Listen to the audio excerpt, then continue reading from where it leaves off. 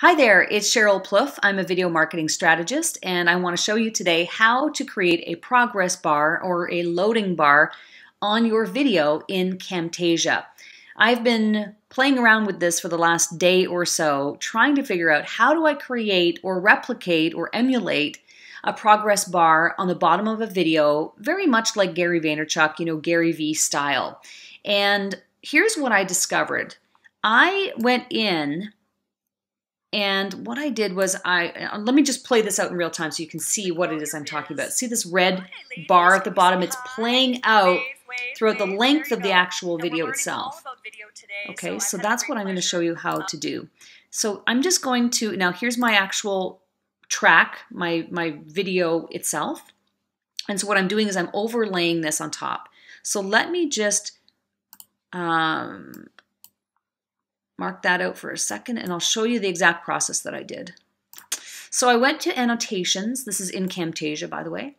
And I went to the uh, to all of the different styles, and I chose the one that is really just the simplest, uh, kind of cleanest box. And I added that down on my timeline. And then I stretched that out throughout the entire length of the actual video clip. Now you can make this whatever color you want. So let's say, uh, just let's say I'm making it I'll make it my own color. I can go over here and change it into my own sort of magenta color. So you would just add your code or whatever you want. Okay. Now, what I'll do is I will make this a lot smaller. First of all, I'll take this text out because we don't want the text. I'm going to make this quite thin and, and I'm going to drag it out from end to end and, well, oh, actually, hang on a second. Maybe it's easier if I go like this. There we go. And drag it out end to end because we don't want it to be too thick. So there it is at the bottom of the actual video now itself. Again, you can choose the thickness or what have you. And then what I'll do is I'll go over to, uh, let me see here, transitions. And I'm choosing slide right. So I take slide right and I place it on top of that uh, particular annotation. And now what I'll do is I will drag that out to near the end. And I'm going to play it out and you'll see what happens. So here we are today. I'm at the Grow Your Biz. So there's the hi, progress bar.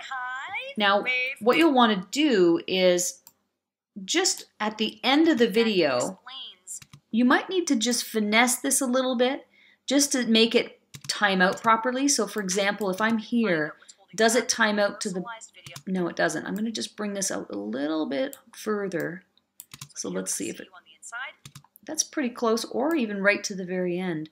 Although I do have a fade here. So that's pretty close.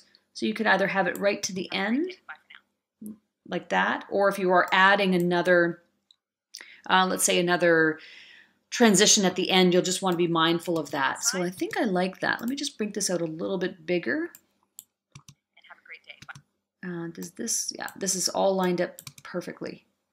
Boom. So that's basically it. So here we are today. You can create a, a custom colored, branded progress or loading bar at the bottom of your videos with Camtasia. I hope this serves you. If you want to visit me, please do so at sherylplouffe.com or reach out to me on social media. I love video, would love to be able to help you uh, with your social media videos and I kind of consider myself to be the guinea pig of video marketing, that I like to try new things. So please reach out if you'd like to uh, have some help with your social media videos. Have a great day and bye for now.